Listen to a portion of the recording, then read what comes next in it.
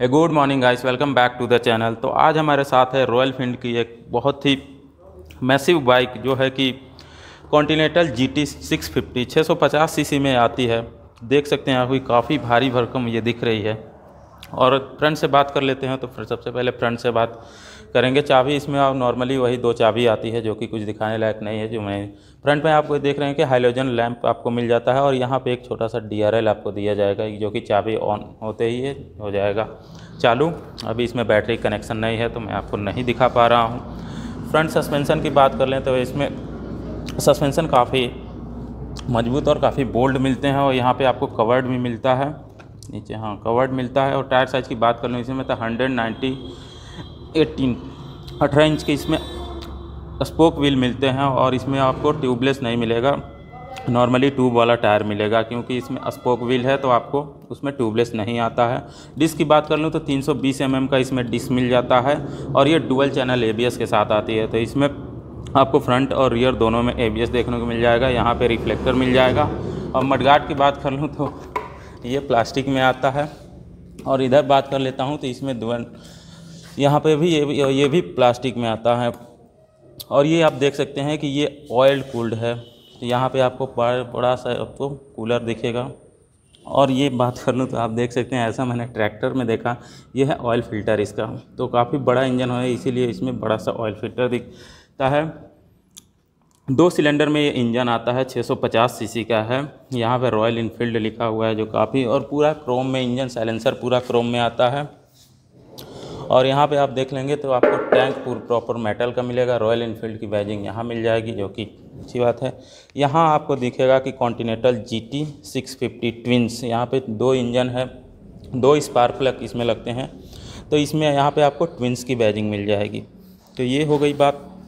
पीछे से इसके पीछे वाले टायर की मैं बात कर लूँ तो सी का टायर लगा है और इस यहाँ पे मैं देख पा रहा हूँ कि 130 70 18 इसमें 118 इंच के तो रिम सही हैं लेकिन इसमें टायर की वाइड एंगल 130 एम mm हो गई है और रियर में आपको 270 एम mm का डिस्क मिलता है प्लस इसमें एबीएस भी मिल जाता है। तो ये अच्छी बात है कि इसमें फ्रंट और रियर दोनों में एबीएस मिलता है।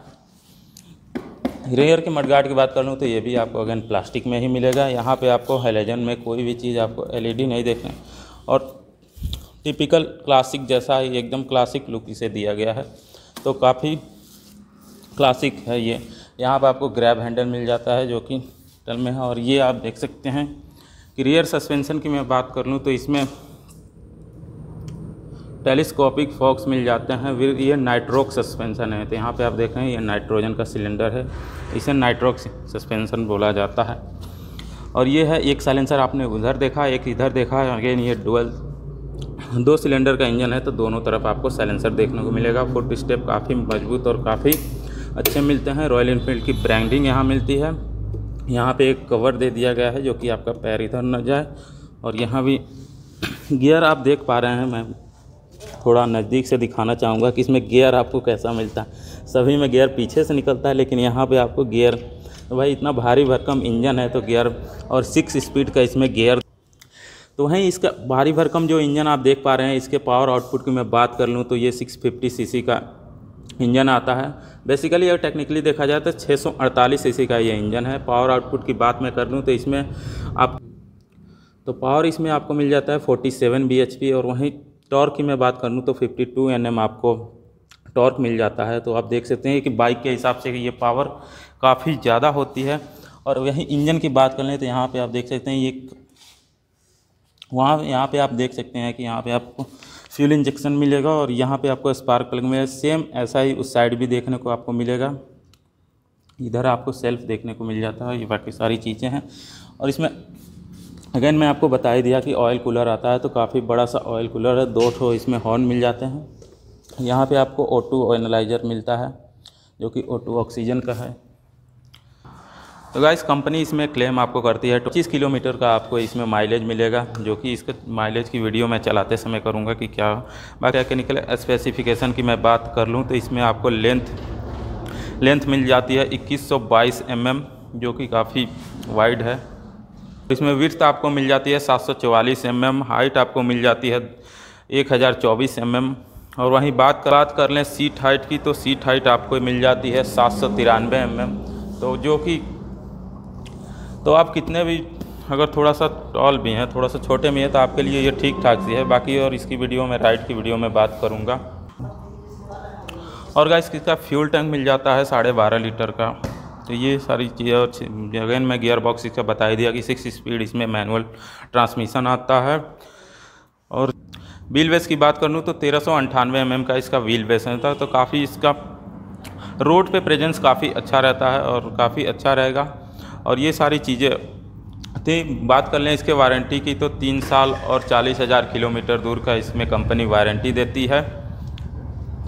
तो ये सारी चीज़ें हैं जीटी के बारे में। काफ़ी भारी और काफ़ी हैवी बाइक है और देखने में भी काफ़ी हैवी लगती है, चलाने में भी।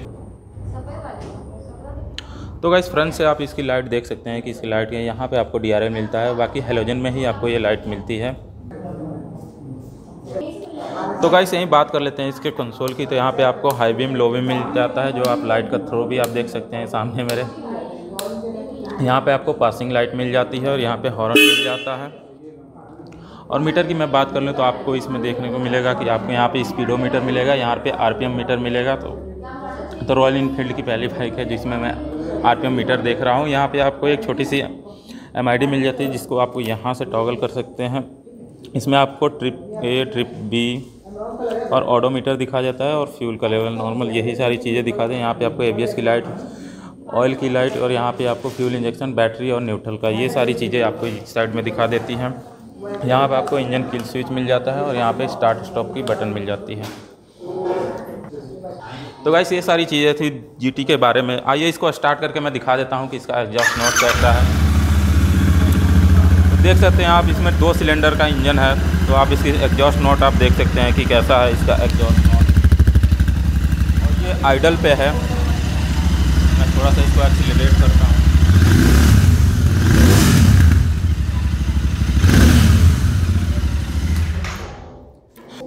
तो गैस ये सारी चीज़ें थी जीटी के बारे में। तो गाइस इसकी ओवरऑल प्राइस की मैं बात कर कर दूँ तो ये रायगढ़ में है प्रियंका मोटर्स पे। तीन लाख छाछठ हज़ार आठ सौ इकसठ रुपये इसकी ऑन रोड प्राइस है। बाइक आपको अच्छी लगती है तो आप टेस्ट राइड के लिए आ सकते हैं प्रियंका मोटर्स जो कि रायगढ़ में है। और वीडियो अगर आपको अच्छी लगती है तो लाइक शेयर सब्सक्राइब आप कर दीजिएगा। मिलते हैं किसी और वीडियो में, तब तक के लिए धन्यवाद।